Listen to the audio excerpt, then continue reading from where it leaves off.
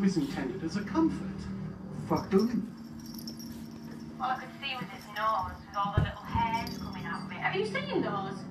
It's like he's got insects trapped up there all trying to escape with him.